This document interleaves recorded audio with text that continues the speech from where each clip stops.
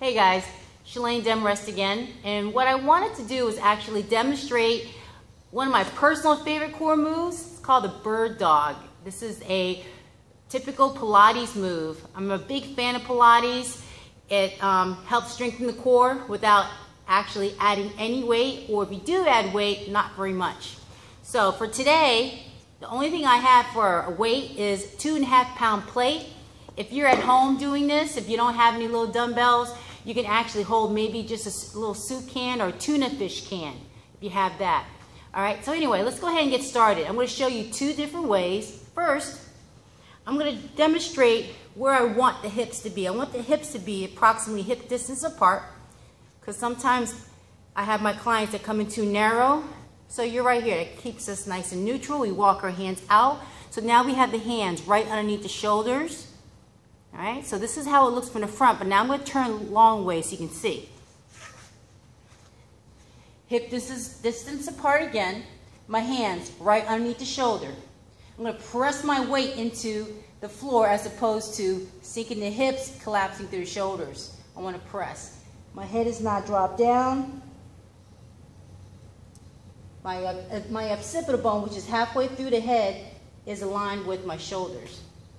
So what I'm going to do now, I'm going to take a breath, and I'm going to inhale, and I'm going to lift. So what I want to do here is actually have my thumb the same height as my shoulder, and my heel the same height as my hips, without shifting my weight to the side. I hold maybe 10, 15 seconds, and then I bring it in. Again, I lengthen, I reach nice and long, pressing my weight into my hand so my shoulders stay away from my ears, and my thumb, same height as my shoulder, my heel, same height as my hips, and I come down. So that's level one. But let's say now that you know you're past that stage and you want to add just a little bit of intensity. We add two things one of two things actually. We can add some degree. So I'm here again, but this time I come out to the side without shifting my hip. I keep everything isolated. I bring my hand out, 45 degree angle as well as my hip. I come back to center and I replace. Same thing. I come out to the side, in and down. So that's one way that we can add some intensity.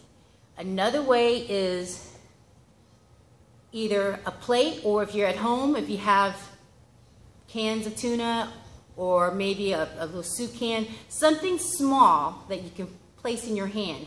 And I like to hold my plate this way. Makes it easier and less stress on the wrist. So again, this is one where you can just simply hold it or have it come out to the side Come in, come down. What this exercise actually does, it focuses you, by remaining neutral, it focuses you to really draw upon your upper, your lower, for one. By pulling my belly button into my spine, now I'm activating my lumbar, my core. I'm also activating my stabilizers or my obliques because I don't want to shift side to side.